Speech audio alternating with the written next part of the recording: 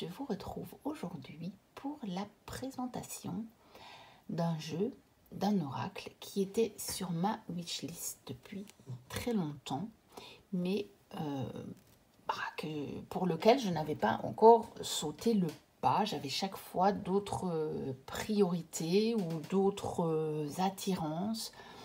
Je ne peux pas toujours expliquer dans quel ordre comment se passent mes priorités, je vous avoue franchement, parce que c'est vraiment un jeu qui me plaît depuis très très très très très longtemps, mais à chaque fois il y avait un autre. Euh, Et puis euh, j'aime beaucoup Lucie Cavendish. J'ai pas tous tous ces jeux, je ne pense pas. Euh, je n'ai pas tous ceux qu'elle a fait avec Jasmine Griffith Beckett parce que euh, bah, j'accroche moins un certain dans ceux-là. Mais je pense que dans les autres, j'en ai beaucoup.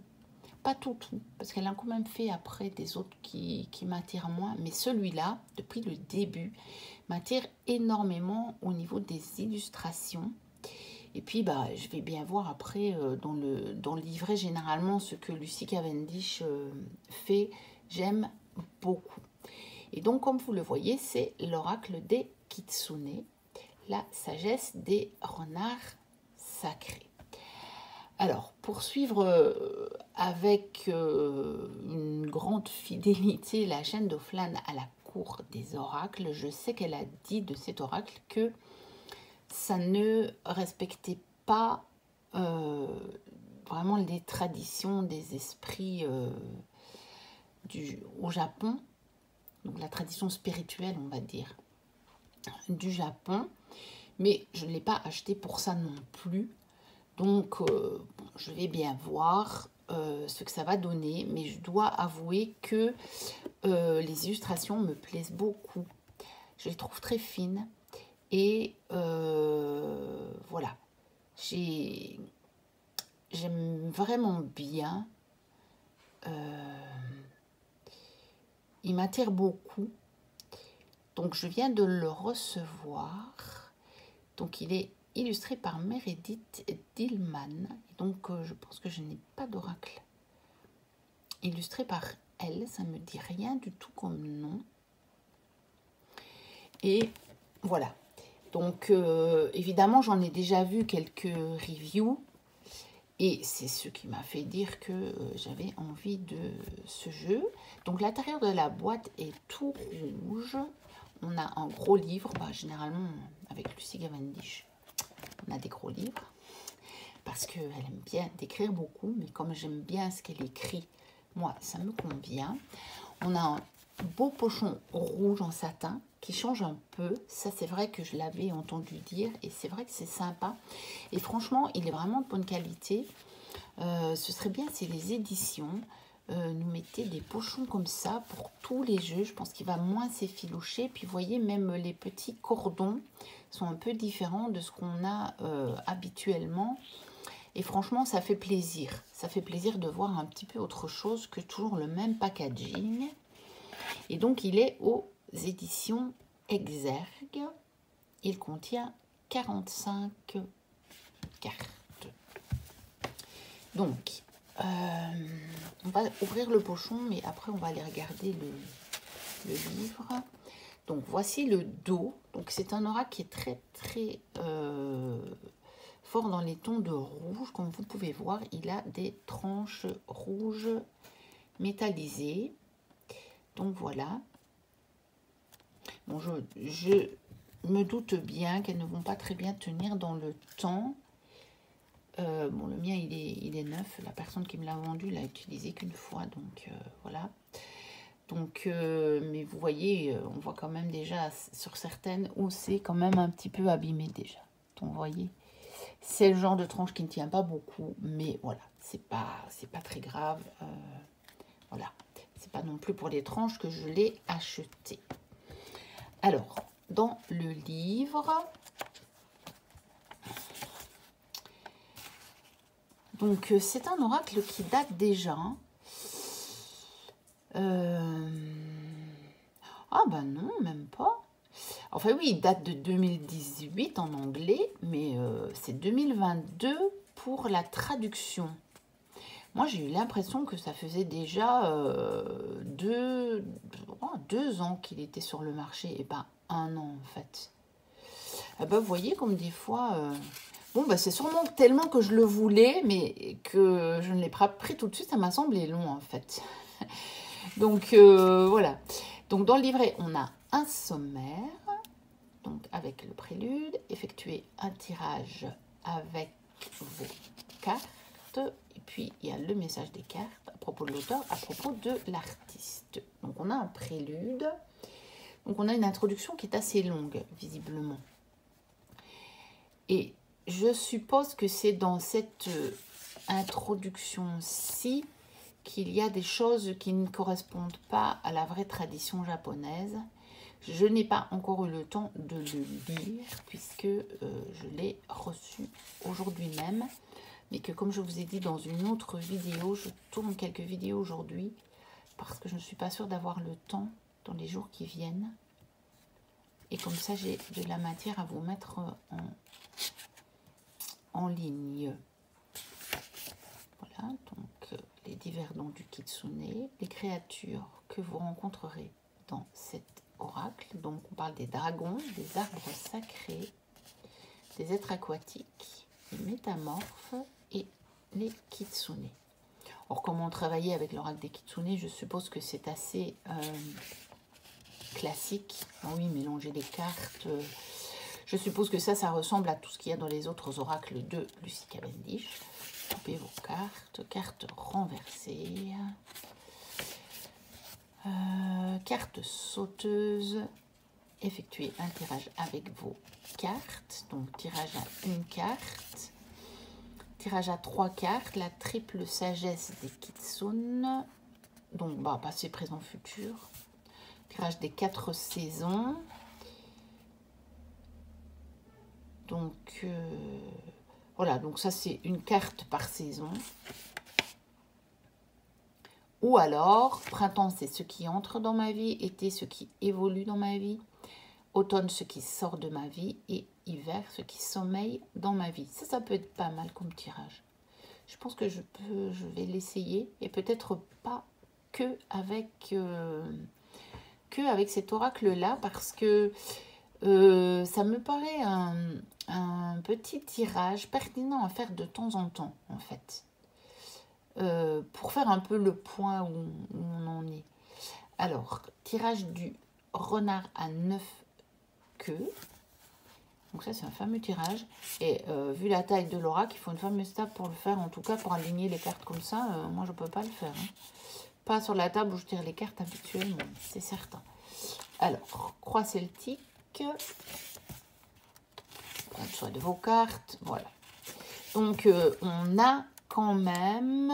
Est-ce que les pages sont numérotées? Oui. Donc, on a 47 pages d'introduction. Il y a de quoi faire. Et après, on a le message des cartes. Donc, on a la carte en noir et blanc. Et puis, on a le titre de la carte. Et puis, ben, on a euh, le roman de Lucie Cavendish. Non, je plaisante, moi j'aime beaucoup. Donc, euh, voilà. Euh, généralement, dans les textes qu'elle écrit, je trouve toujours mon message. Mais euh, il est pas toujours au même endroit du texte, même quand dans ses livrets, elle fait, elle met des mots clés ou des phrases clés ou le message de la carte et parfois quand elle décrit ou quand elle euh, développe le message, c'est à cet endroit-là que moi je trouve ma réponse. Mais voilà, ça c'est vraiment peut-être c'est personnel. Mais moi, j'aime beaucoup euh, la façon de, faire de Lucie Cavendish. Donc voilà, il est tout en noir et blanc. Donc pour un livret euh, de 2022, c'est peut-être un peu dommage, mais voilà, c'est comme ça. À propos de l'auteur et à propos de l'artiste. Est-ce que je vois... Euh, des livres illustrés, deux livres de coloriage de fées? Ben non, apparemment, euh, c'est son premier oracle. Je n'en vois pas d'autres. Donc elle a illustré des livres et des livres de coloriage. Mais euh, oui, et puis d'autres livres et, des magazines ou des produits sous licence. Mais visiblement, c'est son premier oracle. voilà, puis quelques autres euh, oracles de Lucie Cavendish que j'ai d'ailleurs. Ces trois-là, je les ai justement. Celui-ci, euh, c'est un, des seuls de, Jasmine euh, que j'ai. J'en ai quand même deux autres, mais je crois que c'est sa seule collaboration avec Lucie Cavendish que j'ai. Voilà, Esprit de la forêt, l'oracle des sortilèges. Alors, on va quand même regarder les cartes. elles ne sont pas dans l'ordre puisque je l'ai acheté d'occasion. Je les ai pas remis dans l'ordre, j'ai pas eu le temps puisque je voulais vous faire euh, très vite la vidéo. Nous avons vigilance. Ah oui, je ne vous ai pas dit. Bon, la qualité, c'est la qualité exergue, donc c'est bon. C'est assez épais, mais c'est relativement souple quand même. Euh, et les cartes sont légèrement, même pas, elles sont brillantes, on va dire. Elles sont brillantes. Voilà, donc vigilance, cérémonie du thé,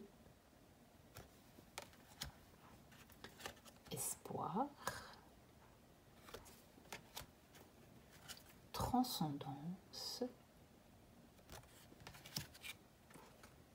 triple protection, immortalité. là, je suppose que ce sont les arbres.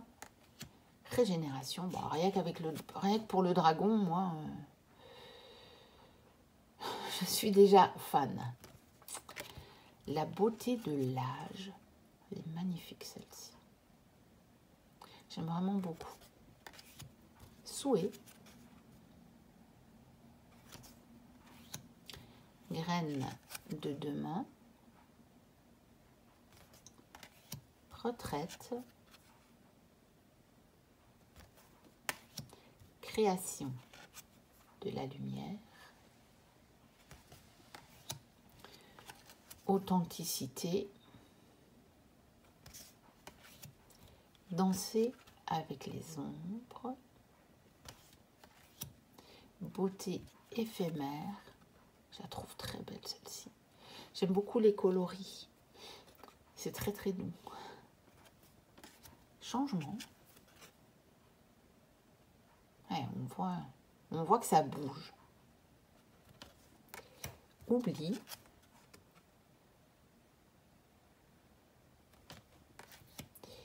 Partagez votre sagesse avec un dragon. Il était pour moi cet oracle. Délice. Au-delà des apparences. en plus, il y a des sirènes.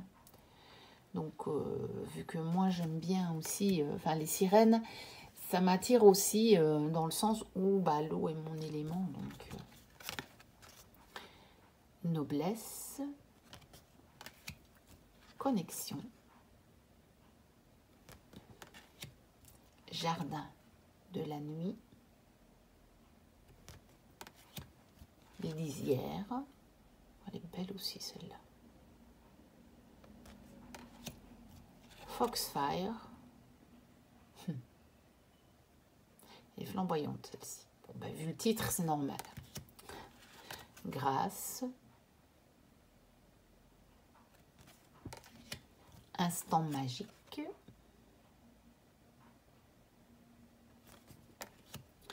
après l'obscurité, solitude,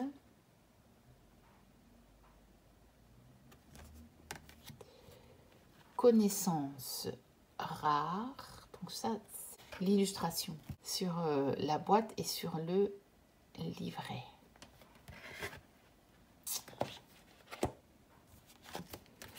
Alors, vie antérieur, éveil, ah, voilà encore un beau dragon, croissance, ah, J'aime beaucoup aussi celle-ci. J'aime vraiment bien. Il me plaît bien au niveau graphique. Danser avec joie.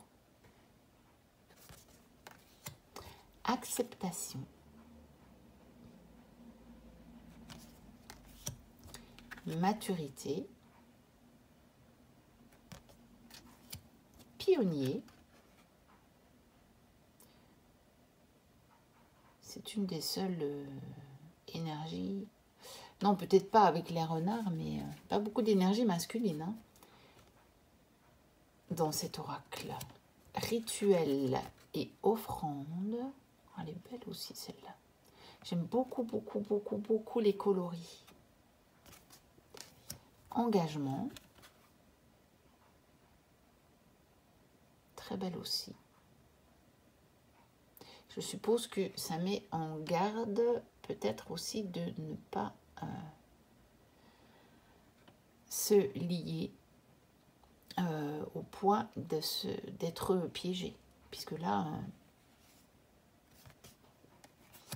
elle a l'air quand même bien, bien attachée. Sentinelle, avec encore un bout dragon. Magnifique. Don. Autonomie.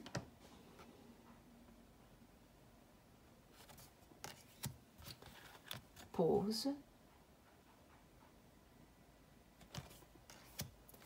Richesse intérieure. Elle est belle. Elle est très très belle celle-là. J'aime beaucoup aussi les coloris qui sont moins doux. c'est pas pour ça qu'ils sont agressifs, mais ils sont un peu plus intenses. Euh, mais j'aime beaucoup. Ça pourrait faire une belle carte de l'impératrice dans un tarot. Et suivre les signes. Voilà. Donc, euh, c'était donc la présentation de cet oracle. L'oracle des Kitsune, la sagesse des regards sacrés. je me dis, comme ça m'avait interpellée, je voulais retrouver celle où on voyait euh, la personne qui était attachée. La voici. Et on va peut-être aller voir dans le livre ce que ça dit. Donc, engagement, comme titre. Ensuite, alors, c'est la 30. Voilà, engagement. Voici c'est long. Cette carte met en lumière les multiples façons dont nos promesses peuvent nous lier et avec le temps finir par nous restreindre. Donc j'avais bien senti l'énergie de la carte quand même, j'avoue. Pourtant nous étions d'accord quand nous avions donné notre parole. C'est l'énigme des engagements humains, présents dans toutes nos relations. Il y a à la fois les liens affectifs et la beauté de ce que nous pouvons nous offrir l'un à l'autre, et les engagements qui proviennent d'un amour responsable. Cette carte s'adresse aux personnes qui prennent leurs responsabilités au sérieux et qui ont d'importantes responsabilités, tout comme cet elfe, ami des Kitsune, qui jouera de sa magie aussi longtemps que nécessaire afin de délier cet arbre du fardeau de ceux qui exploitent la nature. Je lis euh, rapidement comme ça. Oui, donc euh, c'est quand même une carte qui peut-être nous met en garde avant de s'engager, je pense. Euh, pas quand l'engagement est déjà là, euh, ou alors si l'engagement est déjà là, c'est pour rappeler de prendre la responsabilité de l'engagement qu'on a pris. Mais pas, bien sûr, parce qu'elle elle parle donc d'un sacrifice volontaire, mais bénéfique qui offre de nombreuses bénédictions. Donc elle ne dit pas du tout qu'il faut rester dans quelque chose qui est toxique. C'est pas ça. Donc peut-être que effectivement, ça peut faire réfléchir avant un engagement, de se dire est-ce que je suis vraiment prêt, prête à tout, euh, à tout accepter des conséquences de cet engagement? Ou alors, une fois que vous avez pris un engagement, de vous rappeler, eh bien, tu as pris tel engagement. Est-ce que tu ne trouverais pas la force de l'honorer, même si pour le moment, ce n'est peut-être pas ton envie première? Parce que, euh, visiblement, ce serait un engagement qui ferait que après, les entraves vont tomber euh, et on sera pleinement libre d'aller et de faire tout ce que l'on souhaite. Donc, ce n'est pas, voilà, c'est pas un engagement toxique, justement. C'est plutôt de dire que, euh, eh bien, on a une partie de notre engagement à respecter et quand ce sera fait, nous en serons délivrés. Donc voilà, pour le petit message de cette carte et la présentation de ce très joli oracle que moi en tout cas je ne regrette pas finalement d'avoir acheté bien que j'ai aussi celui des Kami et Yokai. Donc euh, j'ai acheté les deux qui sont un petit peu sur le même thème on va dire. Je l'ai aussi et je ne le regrette pas non plus. Euh, n'hésitez pas à liker, à commenter, à me dire si vous, euh, vous, l'avez, s'il vous plaît, ce que vous en avez pensé. N'hésitez pas à vous abonner si vous passez par ici et que vous ne l'êtes pas. Moi, je vous dis à très bientôt pour une prochaine vidéo. Et d'ici là, portez-vous bien. Bye bye.